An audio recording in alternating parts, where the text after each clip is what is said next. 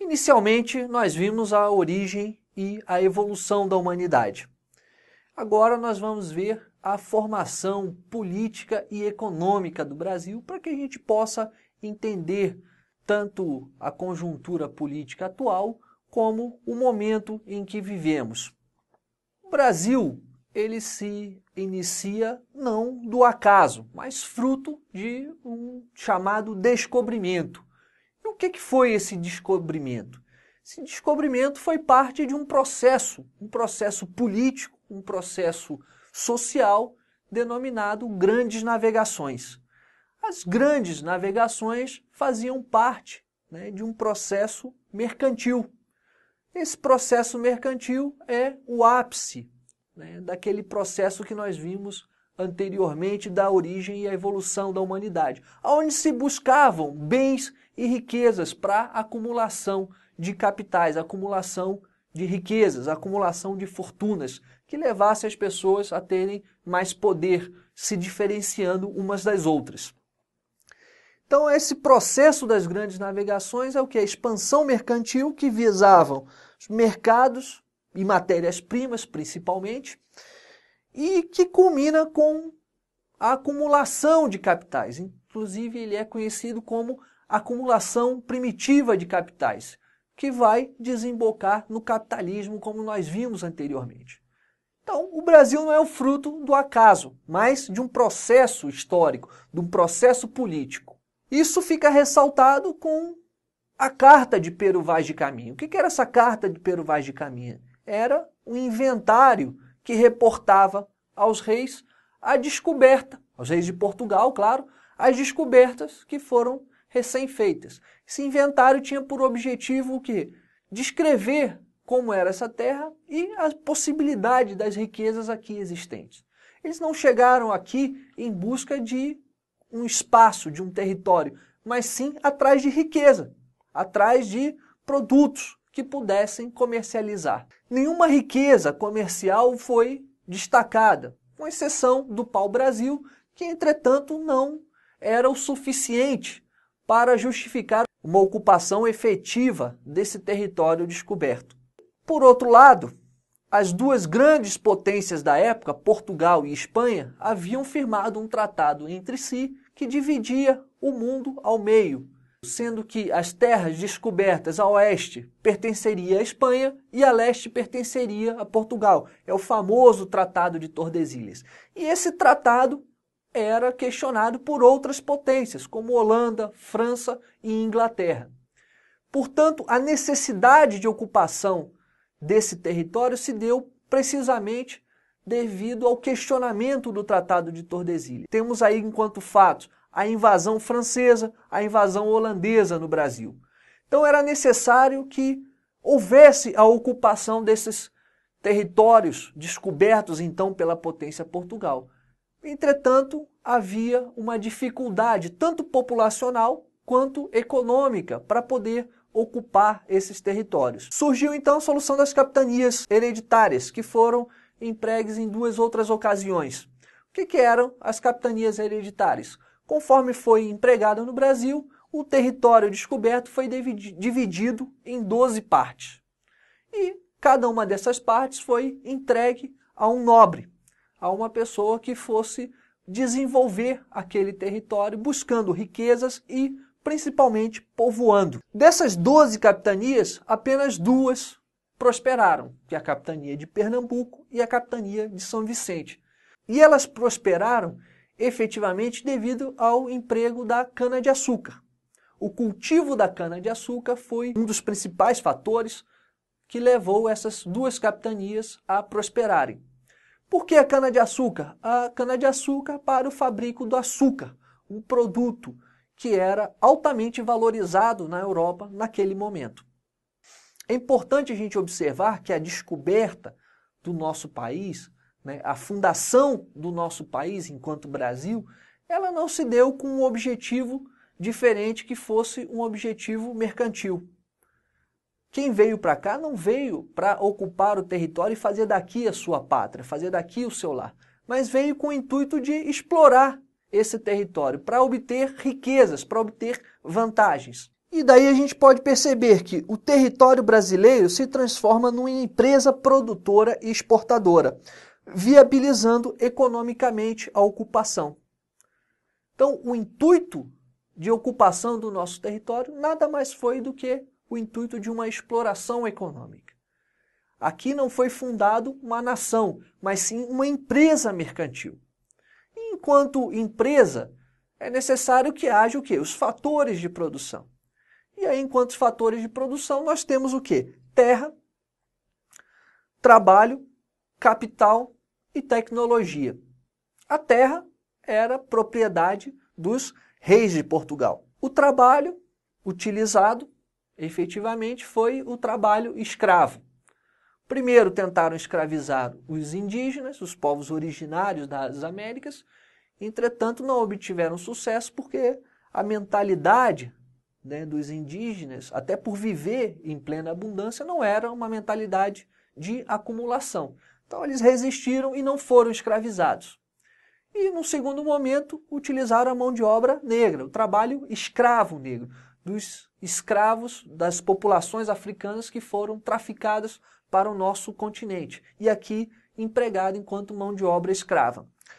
O capital era um capital holandês, capital Flamengo, e a tecnologia tecnologia empregada não era uma tecnologia desenvolvida aqui, é uma tecnologia desenvolvida externamente. Ou seja, o nosso Brasil não foi fundado para ser uma pátria, não foi fundado para ser uma nação. As oligarquias que aqui se instalaram se instalaram com uma finalidade: obter lucros. Utilizaram a população para mão de obra, mão de obra barata, mão de obra escrava. Isso é importante para que a gente possa entender a mentalidade das nossas elites, das nossas oligarquias que nos governam desde então. Passado esse período do Brasil colônia, nós temos o Brasil império. Tem alguns fatores que levaram o Brasil a se tornar o império, que é a partir da independência política de Portugal. Temos aí a família real no Brasil, que é um desses fatores, gerou um aumento populacional e algum desenvolvimento econômico e social.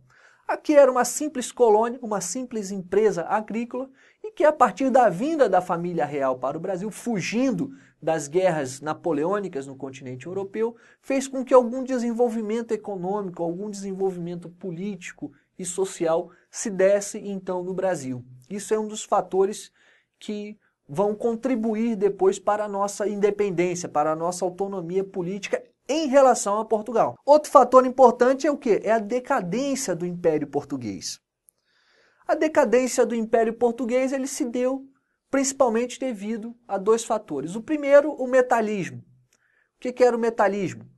Acreditava-se no momento que quanto mais riquezas em metais uma nação pudesse acumular, mais rica ela seria. E o segundo fator foi o Tratado de Mituim. O Tratado de Mituim foi entre Portugal e Inglaterra. Portugal venderia todo o vinho que produzisse para a Inglaterra e, entretanto, Portugal importaria todo o pano que necessitasse. Então isso acabou ocasionando o quê? Um desequilíbrio na balança comercial de Portugal. E conforme mais riquezas entravam, mais aumentava a inflação e mais esse dinheiro era escoado para a Inglaterra. Então isso fez a decadência do Império Português e o seu consequente declínio. Por fim, a proclamação da independência. Foi apoiada prontamente pela Inglaterra, que estava interessada nas riquezas naturais e em receber parte das dívidas da coroa portuguesa. Ali se inicia a nossa dívida externa. O Brasil consolida sua independência política em relação a Portugal, mas estabelece um endividamento externo, fruto da negociação da Inglaterra com Portugal, que exigiu a quantia de 2 milhões de libras esterlinas a título de indenização, mesmo tendo D. João VI limpado os cofres do Banco do Brasil em seu retorno para Portugal. O processo político do declínio de Portugal, da ascensão e do fortalecimento do Império Inglês, do Império Britânico, se dá nesse momento. E o Brasil deixa de ser uma colônia efetiva de Portugal e passa a ser uma colônia, economicamente falando, da Inglaterra. Bom, então é importante entender que de colônia o Brasil passa a ser o quê? Um império servil. Passa a ser um império subordinado a uma outra potência estrangeira.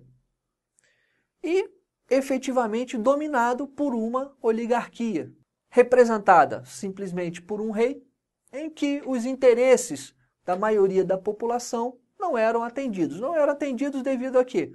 Porque eles não se enquadravam enquanto cidadãos, mas sim enquanto habitantes desse território. Os negros, os pardos, os índios, os mestiços, aqui viventes, não eram considerados enquanto cidadãos. O império se estabeleceu enquanto uma monarquia constitucional, entretanto, poucas pessoas tinham o direito ao voto. Com isso, a gente passa do império para a república, que é constituída a partir de 1889. O Brasil República, ele se dá devido aos desgastes da monarquia com os setores políticos da sociedade brasileira. Outro fator é a Guerra do Paraguai e a sucessiva crise econômica. A Guerra do Paraguai gerou uma série de passivos para o Brasil, passivos econômicos, que desgastaram a monarquia. E, por fim, a abolição da escravatura. As oligarquias escravocratas tomam o poder por intermédio de um golpe de Estado em retaliação à Lei Áurea. A Lei Áurea libertou os escravos negros, entretanto, não recompensou, não forneceu nenhuma indenização aos senhores de escravos, aos donos de escravos. Os escravos eram vistos em quê? Enquanto uma propriedade. Então a Lei Áurea aboliu por pressões da Inglaterra, que tinha interesses não humanitários, mas interesses econômicos, porque esse vasto território deveria ter o quê? Trabalho. Tendo trabalho, teria renda. Tendo renda, teria o quê? A compra de produtos. E esses produtos seriam fornecidos pela Inglaterra. Então, por isso que a Inglaterra pressiona o Brasil para que ele assine a Lei Áurea e seja, infelizmente, essa mancha na nossa história, o último, o último país a abolir a escravidão, a servidão. O Brasil se constitui, porém refém de uma oligarquia que monopoliza os meios de produção, submetendo-se aos interesses estrangeiros, mas cruel e exploradora com o povo que vive neste território, conforme claramente nos mostra a história. A gente viu agora brevemente a história do Brasil com o intuito principal de entender como funciona a cabeça das nossas oligarquias, das elites que dominam o Brasil há tanto tempo. É importante observar a história para que a gente possa compreender o presente momento. Não é à toa que anos e anos o trabalhador brasileiro viveu na exploração. E esse ciclo vem a ser rompido muitos séculos depois da ocupação do nosso território pelos europeus. E aí nós vamos ver na próxima aula como se dá a partir da Revolução de 1930.